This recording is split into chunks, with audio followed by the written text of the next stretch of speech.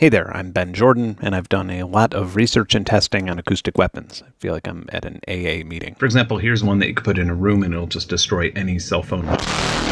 So, in the last eight hours alone, dozens of people have reached out to me, sending me information and videos about the Serbian protests last night, and it does look strange indeed. I've also heard rumors about sound making balconies fall off buildings and stuff like that, although that doesn't seem very plausible based on the information that I've seen. So, first of all, obviously, sonic weapons and long range acoustic devices can damage your hearing or even deafen you if they're powerful enough. There is a pretty convenient way to lessen the effect on yourself. Just bring a sign to a protest with thin cardboard or paper and hold it in between yourself and the sonic weapon.